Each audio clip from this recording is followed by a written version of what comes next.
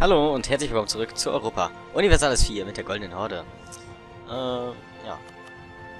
Wir waren gerade mitten in der Belagerung von Oman. Ähm, wir wollten hier einige Territorien für Jemen, äh, Jemen zurückerobern.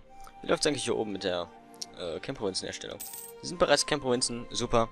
Wir werden hier weitere Provinzen von Hejaz an unseren Freund hier geben. Wir haben jetzt eine Belagerung gewonnen und auch weitere Belagerungen werden folgen. Uff. Ähm, Hejaz wird hier einige an Provinzen, einiges an Provinzen verlieren. Also auf jeden Fall Mekka. Der, ihre alte Hauptstadt. Und wahrscheinlich, naja, so ziemlich jede Provinz bis auf ihre Hauptstadt. Ansonsten wird Oman natürlich ziemlich einiges einstecken müssen. Ich habe hier keine Gnade. Ähm, Jemen könnte ruhig mal... Ah ja, okay. Man muss erstmal sagen, weißt du. Jetzt los, töten hier die hier. Mir fehlt irgendwie ein Vasall. Ah, der ist hier, okay. Hier, da steht er. 3000 Mann von Makuria. Und... Ja, wir haben ja keine Rebellen mehr, dank unserer Toleranz. Was ich super finde. Ich würde natürlich gerne hier ein bisschen die Autonomie verringern, aber das ist schon okay so. Ich überlege gerade, ob ich wirklich jemanden vasalisieren will oder ob ich das einfach alles alle selber erobern werde. Unser König lebt ja immer noch. Ganz schön alt mittlerweile. Naja, 60, es geht aber. Ähm, normalerweise sterben meine immer so mit, keine Ahnung, 30. Vor allem die Guten. Die sterben dann schon mit 20. Ist leider wirklich so. Ich habe sehr selten einen guten Anführer, der älter wird als, naja, ich sag mal 40.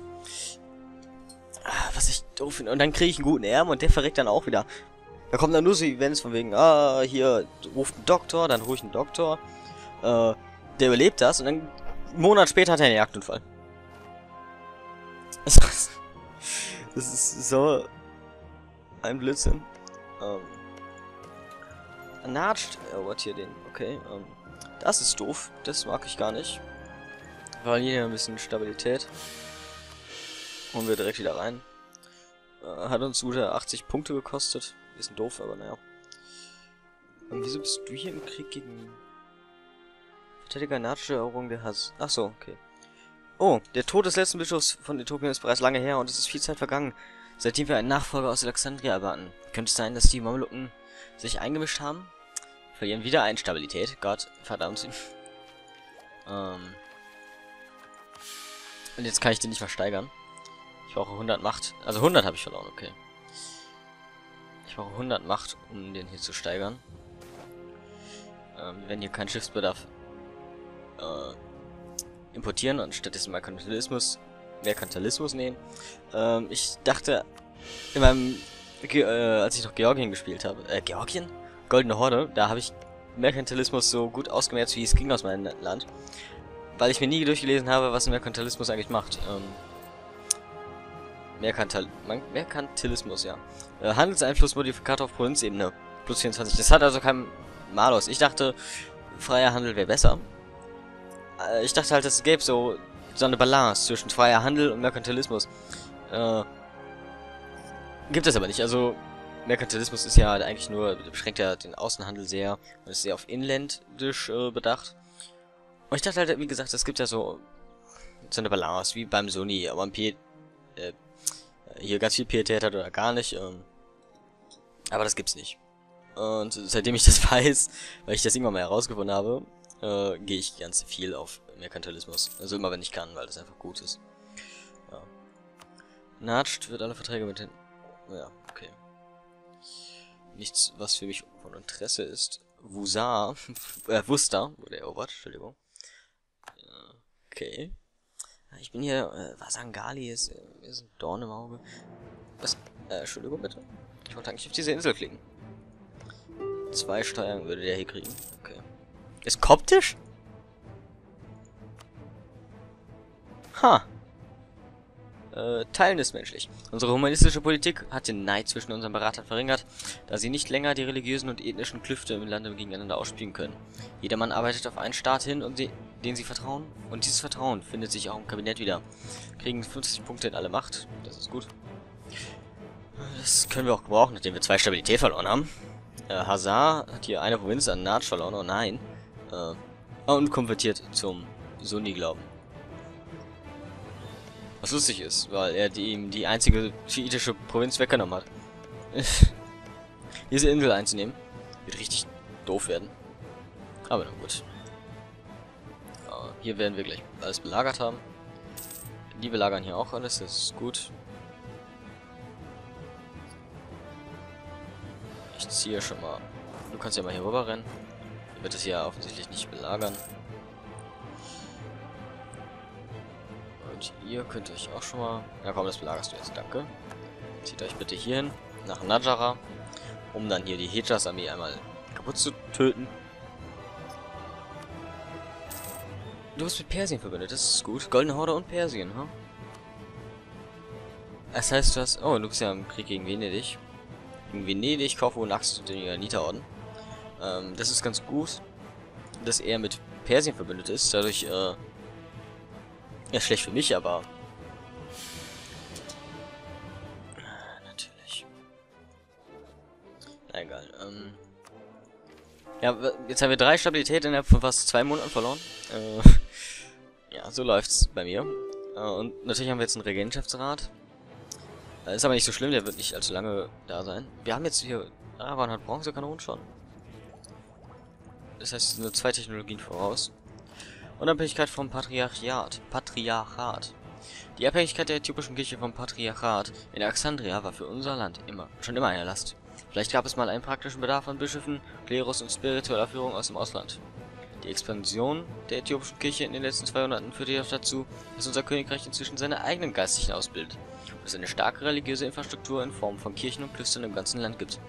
Jetzt, da das ägyptische Patriarchat von muslimischen Eroberern als Geisel gehalten wird, müssen wir oft, zu lang, äh, oft lange zwischen dem Tod eines Bischofs und der Ernennung eines Nachfolgers warten. Es wäre viel effizienter, unsere religiöse Führung aus den Reihen unserer eigenen Klerus, unseres eigenen Klerus zu ernennen. Ähm, würden hier ein bisschen Ideenkosten sparen, was jetzt nicht mehr wirklich von Vorteil ist. Und wir würden nochmal Stabilität verlieren. Ich nehme entsteht wir können uns nicht vom Patriarch Unabhängigkeit äh, unabhängig erklären und krieg hier noch ein bisschen Stabilität wieder dazu. So, wir marschieren hier runter, werden mal Hejas zeigen, was hier so los ist. Hallo, wir sind dann die Äthiopier, wir machen euch tot. Schön, dass ihr zugehört habt. Ja, du glaubst, so schnell kommst du davon, mein Freund? Das geht an Jemen. Oh, Jemen wird Probleme haben, das sage ich euch. Jemen, Jemen wird echt Stress haben. Hey. Oh, hey. Nice, nice, nice. Guten Anführer. Na, das ist doof. Mein Anführer ist äh, ungefähr so alt wie mein Erbe. Das heißt, mein Erbe wird schon nicht alt sein, sobald ich äh, sterbe. Also so mein, mein, Anführer stirbt, mein König. Äh, Savoyen ist jetzt Kaiser. Auch interessant. Jetzt ist... Da, Sachsen ist jetzt Kaiser. Was ist denn da los da oben? Kaisertitel geben die ja mehr rum als... Äh, naja, was man halt so rumgibt. Hey, was Sangali hat äh, die Koalition gegen uns verlassen. Und ehrlich, ich will das da oben gar nicht. Diese drei werden hier reichen. Die haben ja auch schon genug Überdehnung. So. Jetzt habe ich gar nicht geguckt, was das für einen Rufschaden kosten würde. 16 scheint mir aber nicht so viel zu sein. Ah, jetzt von dir, mein Freund. Jetzt kommen wir zu dir. Das wird lustig. Ähm, ich gebe hier alles an Jemen. Oh, Jemen wird Probleme haben, meine Freunde. Jemen wird sich nicht freuen. Also Jemen wird sich freuen, weil, oh, wir kriegen natürlich neue Gebiete, aber nein, Jemen wird sich nicht freuen. Ähm, das wird ziemliches Rebellen, äh, ziemlich viele Rebellen hervorrufen, denke ich. Aber na gut, machen wir weiter. Ähm, wenn unser Diplomat natürlich wieder zu Hause ist. Du kannst dich dann bald daran machen, Alodia zu annektieren. Okay, also erstmal Gibst du das ab? Oh, mal, ist, oh, ist eigentlich alles relativ billig hier. Okay, ähm. Ja, die Überdehnung ist natürlich ziemlich heftig, wenn man die alle addiert, aber das geht eigentlich. Ja. So machen wir's. Und schon haben wir ein Jemen, was ziemlich stark ist. Jetzt muss es nur hier das alles äh, Korn. Ich werde hier noch Natsch füttern. Chamar, Hazar und der Rest von Oman und Nejas. Und dann werde ich dich annektieren und dann habe ich hier eine relativ starke so. Naja, es, es hat dann ziemlich viel äh, lokale Autonomität, natürlich, aber das interessiert mich nicht so sonderlich. So sonderlich, ja. So, du bist jetzt hier annektiert. Äh, kann ich nicht. Bitte. Okay, dann schicken wir dir erstmal ein Geschenk rüber. Habe keine Lust, hier länger zu warten.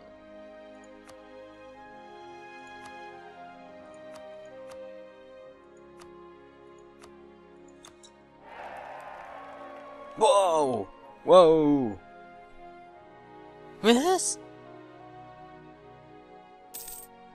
Habe ich irgendwas verpasst? Warum haben wir denn auf einmal so viel... Was? Wie kann das denn passieren? Jetzt bin ich verwirrt. Warum haben wir so wenig diplomatische Macht? Wie viel kostet mich das hier? Äh, 60 diplomatische Macht, oh wow. Ist ja teuer. Ich weiß nicht, ob wir das, das leisten können. Also jetzt gerade im Moment äh, nicht. Das stimmt wohl, aber... Du jetzt wieder weiter im Golf von Aden.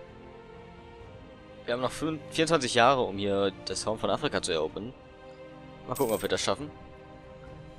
Wasangali ist ja immer noch mit... Ja. Wir müssen jetzt erstmal hier alles äh, äh, zu Kurs machen müssen. Oh, und die Badi natürlich, das habe ich ganz vergessen. Du wirst hier ordentliche Probleme kriegen, mein Freund. Das wird nicht lustig für dich. Das kann ich dir sagen. Aber du magst mich, du liebst mich.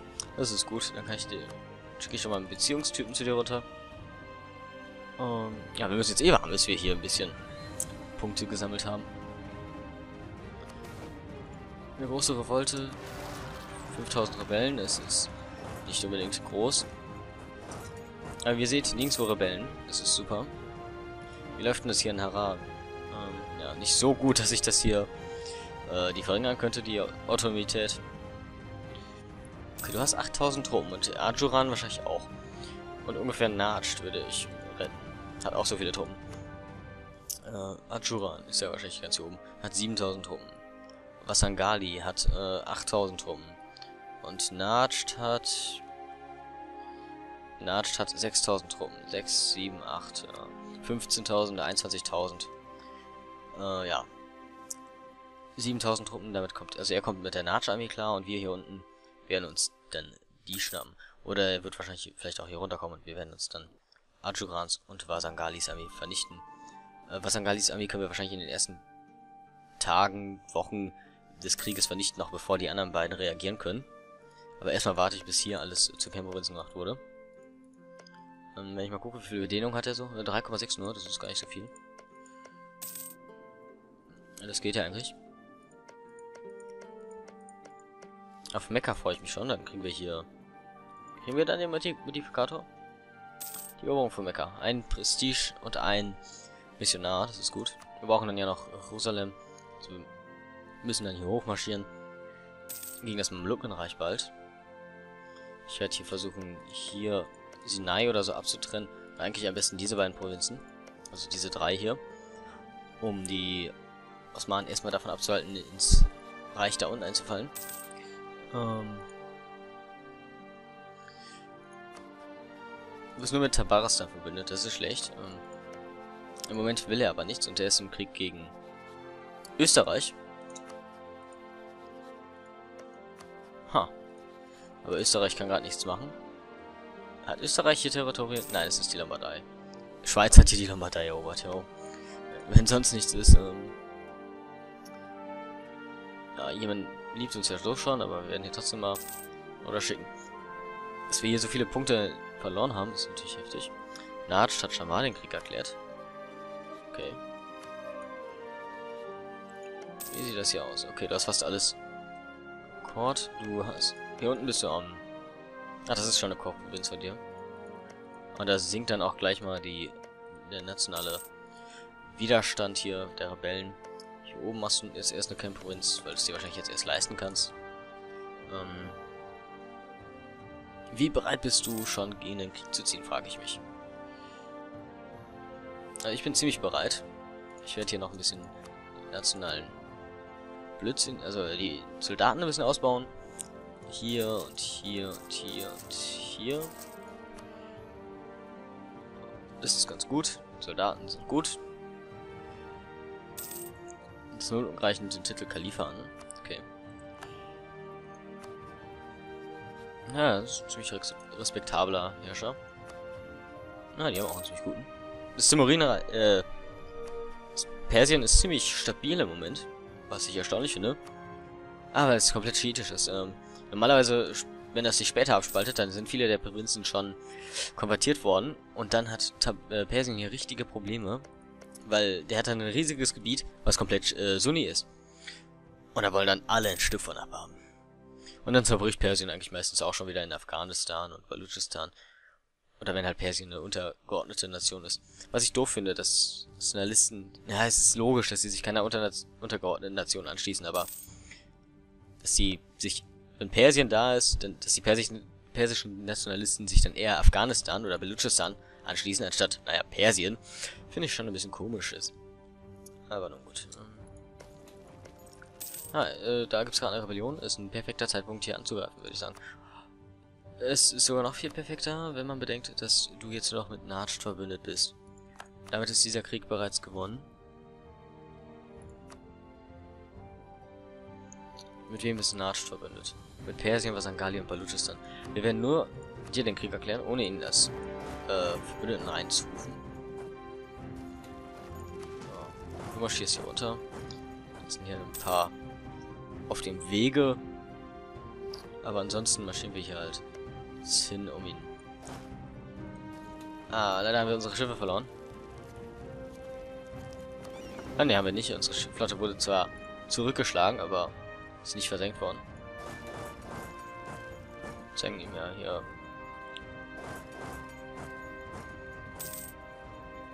Ich weiß nicht, ob er, ob er hier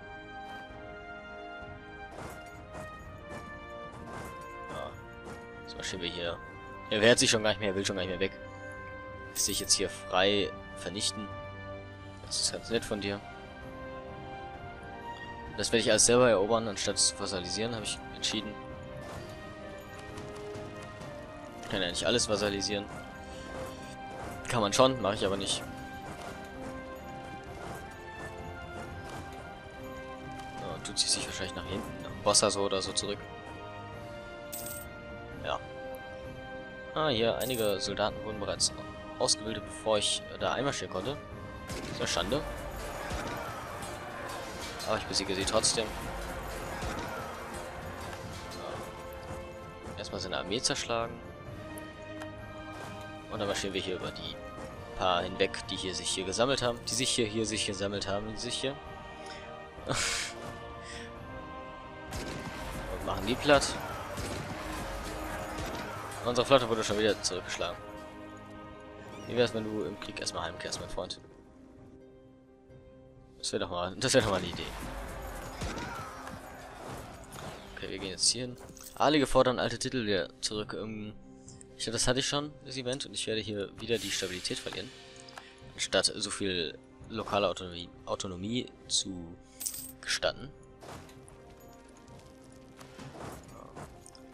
Das mag ich ja nicht so ganz. Ja, dann bleib du mal da hinten stehen. Wir stehen wir hier runter. Ich will diese... Ich will auf, die aufhalten, dass die hier überall Soldaten bauen. Da kann ich... Da stehe ich nicht so drauf. Ja, wir müssen bedenken, wir verlieren auch kaum mehr Power, weil wir eine Söldnerarmee haben. Okay, er hat jetzt hier ein paar Soldaten gekriegt. Das ist aber kein Problem. Die können wir dann mal eben zerschlagen. Bevor er sich da jetzt noch einen zweiten Trupp rausbildet. Du brauchst hier noch mehr Männer. Das dauert noch ein bisschen, bis du fertig bist. Ansonsten sind hier vielleicht schon die ersten Belagerungen fertig. Und dann können wir auch den Rest schon belagern und dann ist das hier gegessen. Wie sieht das da oben aus? Jemen äh, kämpft hier gegen Natsch, so wie es aussieht. Das ist nicht unbedingt siegreich. Natsch kämpft ja auch noch gegen Shamar. Während wir gegen es kämpfen. Aber sobald hier unten ein bisschen was belagert ist, werden unsere anderen Vasallen da hochrennen. Äh, Shamar belagert hier sogar was. Das ist nett. Und Jemen denkt sich, komm, helfen wir mal hier schon mal aus und belagern deren Provinz zurück. Auch nett. Also, Verbündeten werden jetzt... Ah, können gar nicht. Ja, doch, können wir. Ich glaube, es ist auf dieser Seite. Der Übergang.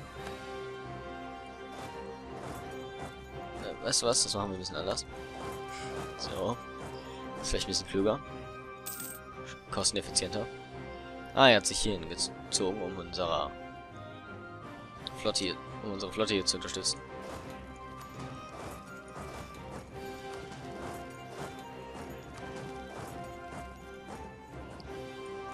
Ja, dann marschieren wir mal hier rein. Zeigen denen mal, wo es lang geht. So, damit ist alles belagert. Äh, ja, hier wird alles belagert. Und das war's dann auch schon mit diesem Krieg. Jetzt müssen wir noch hier oben Hartscht äh, zeigen, wo es lang geht. Er hat ja auch die letzte Provinz dann erobert. Wie sieht's hier aus? Unten wird ziemlich wenig Unruhe. Ja klar, er hat hier überall Nationalismus. Aber er ist hier schön am Konvertieren. Wird hier auf jeden Fall eine Revolte kriegen. Wahrscheinlich hier oben auch. St. Gali will schon aufgeben. Ich aber noch nicht ganz. Also ich möchte noch weitermachen. Hier den Krieg. Das Horn von Afrika wird unter unsere Kontrolle fallen. In 20 Jahren wird es schaffen hier noch Ashuran. Äh, mindestens bis hier sollten wir ihn kriegen. Und den werden wir dann mit der Zeit erobern. Aber wir haben hier oben schon eine ziemliche Machtbasis. Das ist gut. Das heißt, wir können schon bald in Quarakundo einfallen. Äh, Alodia wird annektiert. Gerade im Moment noch. Äh, wieso macht er das jetzt gerade gar nicht? Ich habe kein diplomatisches Geschick. Ha. Ja, natürlich habe ich kein diplomatisches Geschick, weil ich gerade erst ein äh, annektiert habe. Kämpft den inneren Kampf mal wieder. Welcher Provinz diesmal? In Außer. Das weiß ich aber, wo das ist. Das ist gleich hier. Yes, nice. Ähm, und so werden wir langsam, aber sicher alle konvertieren. Ich bedanke mich dafür, dass es zugesehen hat. Dass das zugesehen. Ach Gott. Ich bin zu müde. Ich sollte schlafen gehen. Das werde ich jetzt auch gleich tun. Ich bedanke mich dafür, dass ihr zugesehen habt. Wenn es euch gefallen hat, dann lasst auch ein Like und einen Kommentar da. Und wir sehen uns das nächste Mal bei Europa Universalis mit Utopien, Prester John. Bis dann. Tschüss.